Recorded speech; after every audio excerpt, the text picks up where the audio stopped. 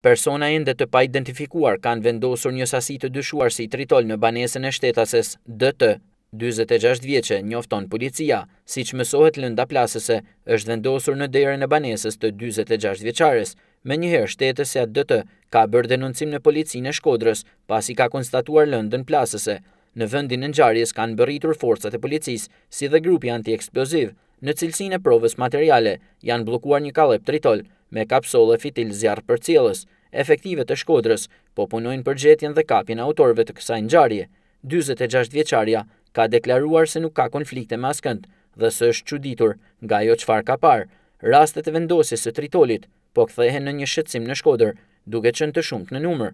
Edhe në rastin e dyzet e gjashtë vjeçares nga Dobraçi, policia dyshon se vendosja e tritolit është thjesht një sinjal për ndonjë problem të mundshëm që mund të ketë patur ajo, duke qenë se autorët nuk kanë preferuar që ta çojnë deri në fund për të bërë që sasia e tritolit të vendosur pranë banesës së shtetases DT të shpërthej.